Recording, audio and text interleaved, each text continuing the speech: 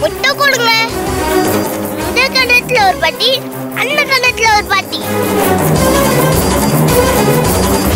அவியும் நானும் நாளை மாலை ஆறு முப்பதுக்கு உங்கள் சன் டிவியில் காண தவறாதீர்கள்.